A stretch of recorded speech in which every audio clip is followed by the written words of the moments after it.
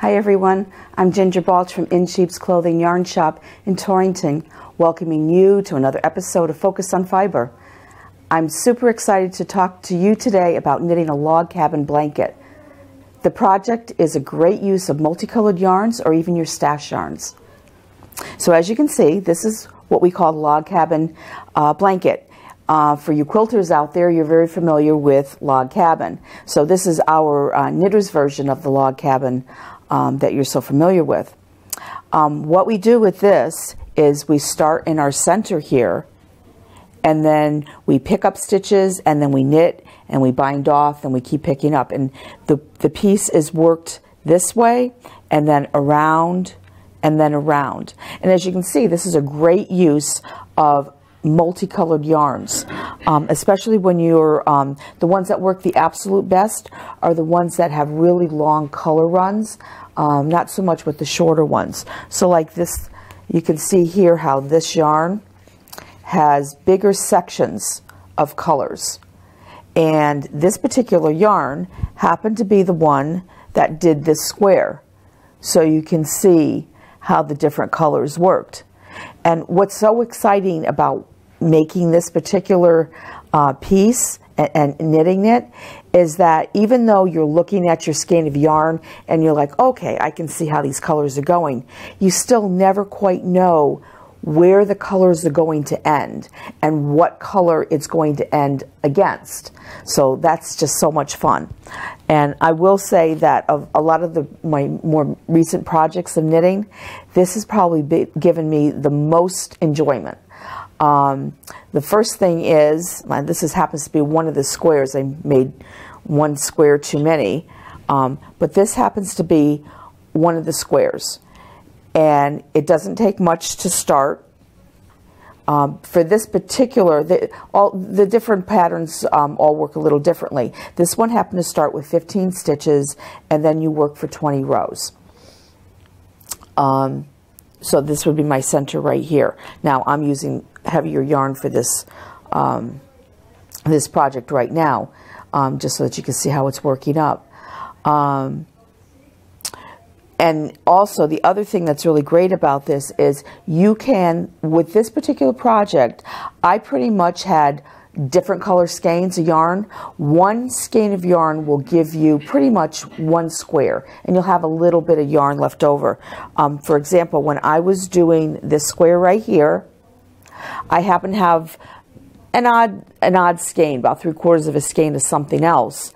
And I knew looking at it that it was going to be a very dark skein, uh, a very dark square. So what I did was I had a little bit of yarn left over from this one here. You can see it was the red. So I started my square with that. So it gave it a little pop of color. Uh, and brightened up what would have been otherwise a pretty dark square. Uh, but that's pretty much what you get left over from one square.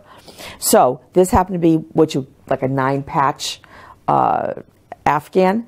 Um, so it took me nine square nine balls of yarn to make it, and then you can see that what I did was outlined it with a solid yarn, and I happened to use this color here. Now, if you had used something like the black, you would get more of like kind of like that Amish look for a quilt. Um, it would make your colors really stand out more. Um, I just decided for, for what I was doing, I wanted a little bit more subtle, um, subtle look. So, um, but the other option that you could do besides doing one color for each square and giving you kind of like a more crazy quilt look, uh, look um, is you could choose maybe a couple colors or maybe, you know, three or four colors and do a couple squares of each. And you could certainly, um, I've been doing a class on this uh, particular uh, blanket and everybody's is coming out totally different, but uh, quite a few people are making them bigger. So they're doing more like instead of three by three squares, they're doing four by five squares. Um, so they have more choice as far as how many, uh, what the colors that they want to do. Um, a, a number of people, what they've decided to do is to take one color and do the whole blanket with the one color. Because what happens, you think, oh, that sounds kind of boring. It's not. Because as you can see, like I keep going back to this square, um, it's almost kind of my favorite one, um, is depending on where you start in your um, your ball of yarn. Like if I started on the outside, well, say that I started on the inside of this one. You're starting with your center square. So your center square is going to be red instead of this color. So that every square that you do, depending on if you start from the inside, the outside, and all the balls start in different places anyway, color-wise, each square is going to look totally different. For example, oh, this is this worked out perfectly. This um, this is actually this square that I have extra is actually the same ball of yarn that I used for this one, but because I started in a different place, the colors came out differently. So even if you use one color, every square is going to look totally different. So um, you keep it easy and just do one colorway. So to start out, to show you how this works, is you do your little rectangle in the center. So I cast on my 15 stitches, and then I worked for my 20 rows. And actually, it's 40 rows, but with garter stitch, you get one ridge for every row. So I have 20 ridges, although I have 40 rows. Now you always want to make sure that you end on the right side. So my tail is on the right side and I'm ending right here because now that I've knit my, my 20 ridges, what I want to do is bind off. And this is where the magic happens, besides the fact that my yarn is starting to change colors. So I'm going to bind off my stitches across and binding off nice and simple, knit two stitches, purl the first, um, sorry, pull the first stitch over the second, then take the next stitch and pull that stitch over the stitch you just knit. And you just proceed like that all the way across. Now you don't want to do this too tightly, but you don't want it to be sloppy either. So we do this all the way across.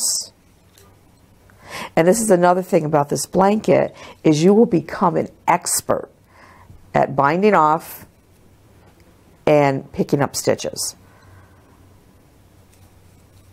So we get keep working until we get to the end.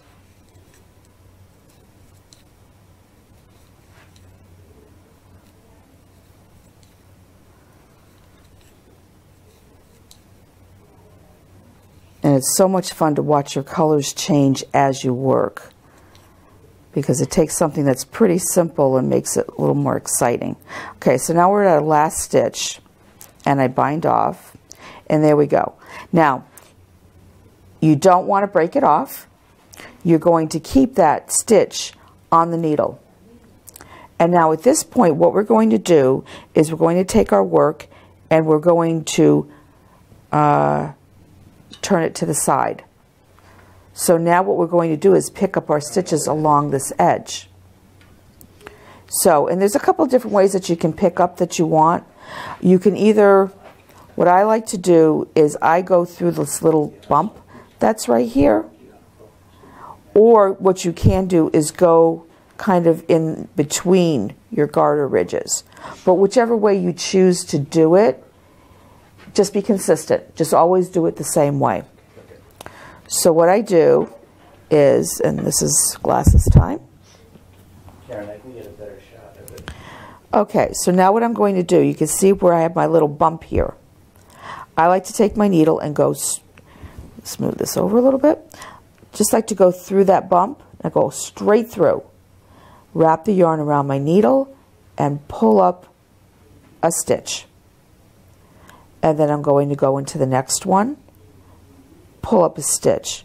Now what I want to do, because I have 20, 20 rows, I want to pick up, I want to have 20 stitches all the way along the edge here. And if you go into each ridge, that will do the trick. And sometimes you might find yourself maybe off a stitch or so. Not a big deal. You could always, you know, take it back a little bit and maybe skip a spot. There we go. But you just want it to look like it's being picked up nice and evenly. And you can see now how the color that was up here, this blue, this blue multi, is now going to edge this piece. Go. And that one might be a little close. Just going to move it.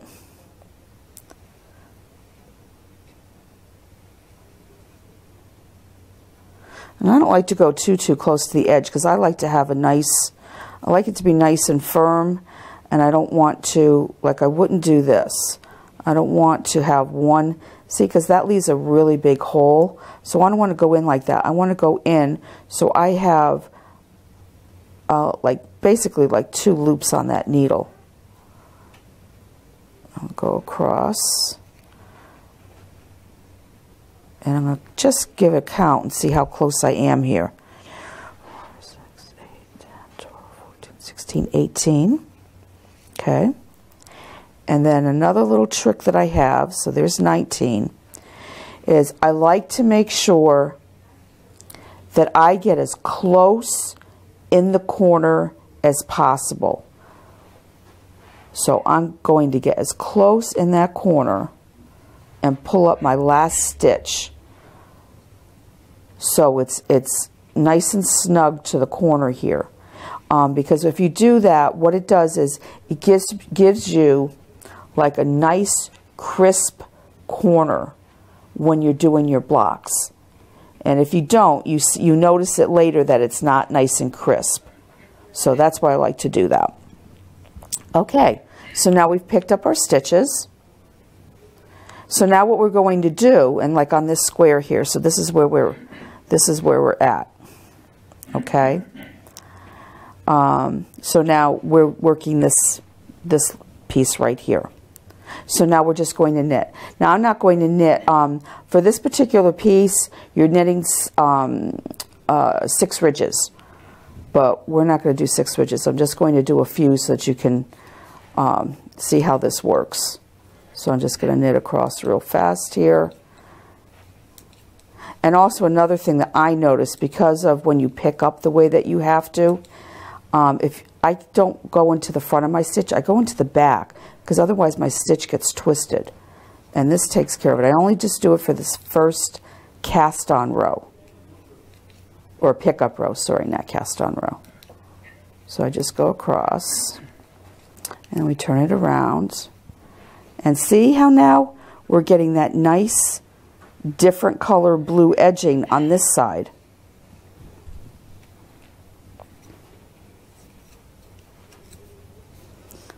So I'm going to knit across here.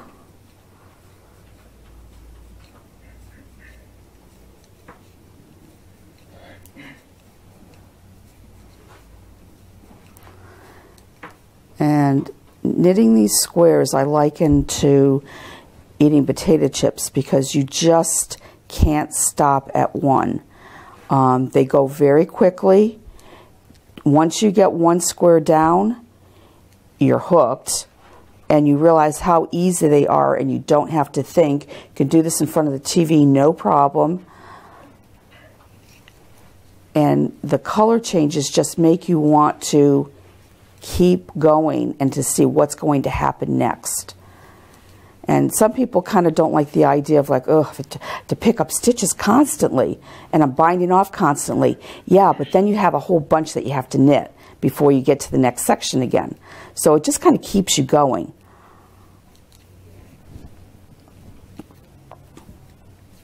So what I'm going to do is we're going to make short work of this one, just so you can get the idea how this moves al along. So let's just say that I have my six garter ridges, which I don't. But see how we have the color changes now. Okay, that blue has now moved over to the side. Uh, let's just kind of take a look at where, yeah, we would have a bunch more blue. But okay, so now what I'm going to do is bind off these stitches again. Because, and you always want to make sure that you're on the right side. So here's my tail. You'll also, once, you, once you've done your first section, it's very easy to know where your right and wrong is because if you flip this over, see, there's my pickup. That's definitely not the right side. So we know that we are on our correct side now. So we'll bind these stitches off again. And there we go. Oops, knitting. Okay. So bind off.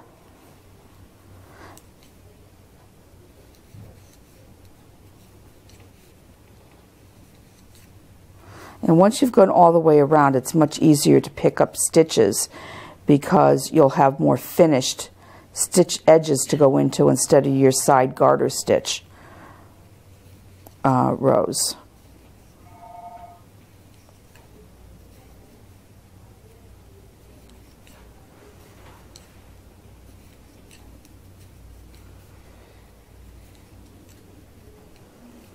We have a nice group of gals right now that everybody's blankets are such they're using different um, different brands of yarn so they vary because of that but then just color to color they vary so much. And it's so nice to get together and have people lay out their squares and we can all look at look at them and uh, see how how different they are and how it, it's funny, as you're knitting these, the square that is your favorite square is the one that you're working on at that moment. But when you go to start the next square, that one suddenly becomes your next favorite one. Okay, so now we're almost to the edge of this side. And once again, what you want to do is to leave one live stitch. Okay? So see how we have our, our edge here? So now all you do is you keep turning it. And now what you'll do, this is what's a little different is, um, we cast on our 15 stitches, we knit our 20 rows. So when we came back this way, we had to pick up 20. But now because this is a short end, we're picking up 15 here, what we originally cast on. Plus, what we put on. So, so let's just pretend, well, actually, we, let's just say we did three rows. We want to pick up three stitches here. So we would pick up three stitches. So I'm going to pick up one. Actually, I really don't think I even have three rows here. One, two, there we go. So we have three. But you really, again, you want to get into that corner of where your color ended. So there we go. So we've got three stitches now. And now we would proceed across and pick up our 15 stitches and then continue to knit again. So just for the heck of that, I'll just pick these up so you can see.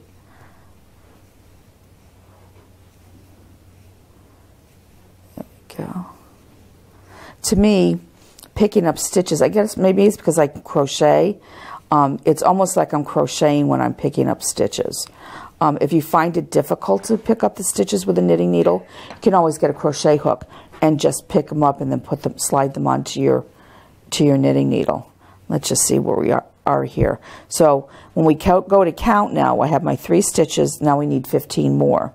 So 2, 4, 6, 8, 10, 10, 11,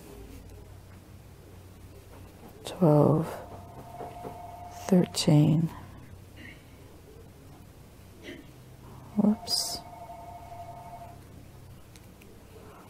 14, and then we want to, actually, you know what, I fibbed to you. I only put on 14 stitches, I didn't put on 15. Um, I was trying to make the square just a little bit bigger so we could get through it a little faster. So I have 15, I have 14 stitches plus the three stitches from this one. We're going to knit bind off on the right hand side again, leave that live stitch, turn our work again, pick up, this time it would be 20, and then knit, knit, knit, knit. Actually, it would be 20, yeah, no, that's right. It would be 20 stitches, knit, knit, knit, knit, leave, bind off, leave that loop again, turn again, and then pick up. And you're going to just continue in that manner all the way around. Now you can make it as big as you want. With these particular squares, what I did was I went around, went around twice. So you can see I have one log, two, two, two, two. And that's how you want to end. Um, you could even do, and I saw this with a baby blanket that was really adorable, is that you can uh, just keep going round and round and round until the blanket or the square is as big as you want to make it. Say you want to make a pillow. Perfect. Just keep going around. Now, once you've made your squares, um, you need to put them together. And what I did here, the little trick with putting them together is you want to choose your, your uh, border color. And then what you do is you're going to have your square like this. And then once again, you're going to pick up with your border color. And the trick here is that what you do is um, you want to have your six um, your six ridges like you have well yeah you have your six yeah you have your six ridges. But because we're going to this I didn't mention this to you this is no sew. You do not have to sew any of these squares together. You do not have to sew your borders together. So what we're going to do is when we pick up and we knit our three we're going to knit three garter ridges set it aside you have to figure out, you place out your, your squares as to how you want it arranged. We're going to sew them in, or put them together in strips. So we'll do a strip, a strip, a strip. And we put these, these will connect our squares together to create a strip. So back to our three ridges. So we did one on this side. We take our second square, pick up our stitches, knit our three ridges, and then what you do is right sides together, you take your two, you take your two squares, and we'll just pretend that this one is on needles, and you do a three needle bind off. So what that gives you is a nice,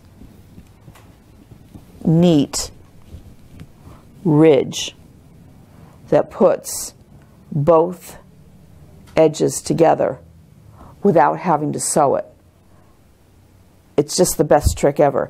And three needle bind off is basically where you're binding the two pieces together, looping them together, and then pulling them over, and it just links them together. So you do your border for your strips, and then after that, what you need to do is you can do all this on a, on a short straight needle or, you know, 16, 20 inch circular needle, that's fine.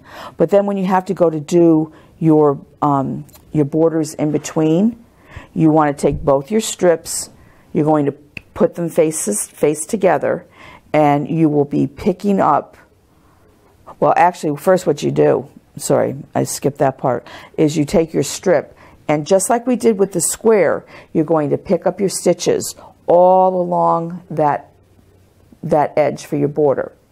Then you'll knit your three garter ridges again. Then you take your other strip and you do exactly the same thing. But you would want to use a circular, a longer circular needle to accommodate all those stitches. I found for this a 24 inch circular needle worked just great. When I did the um, around the edges, um, I might have changed to maybe a 32, but they all kind of squish down really nice, so it works well.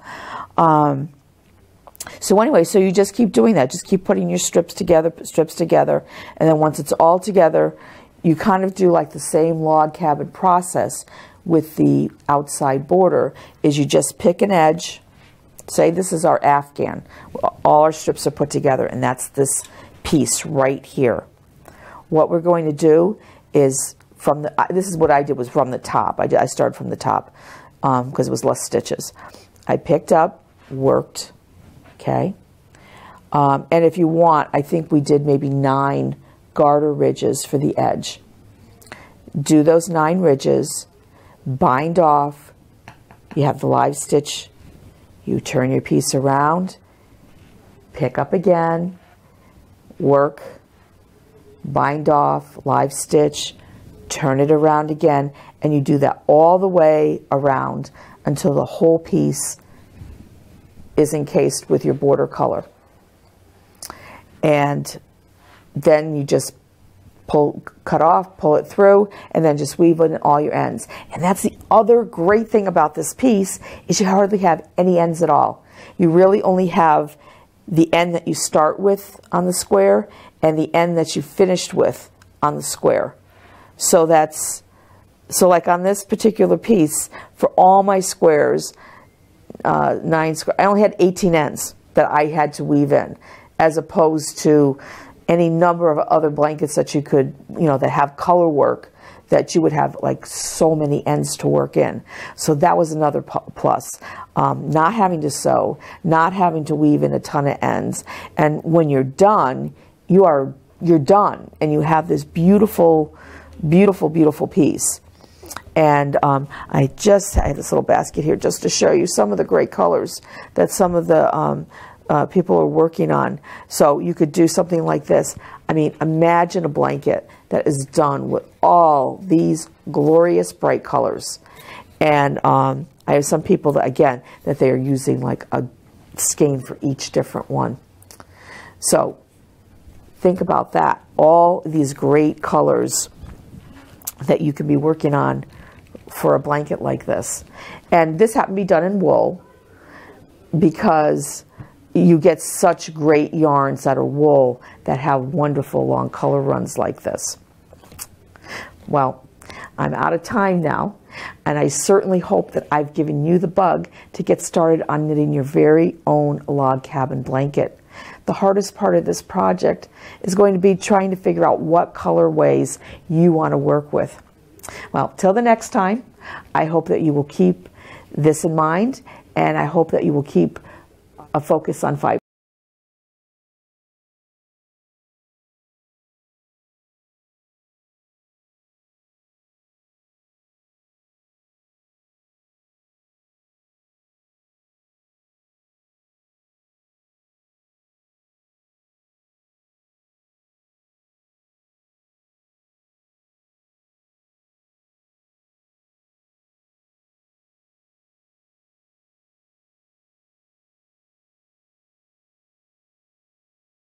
Funding for Simsbury Community Television is provided in part by contributions from viewers like you. Thank you.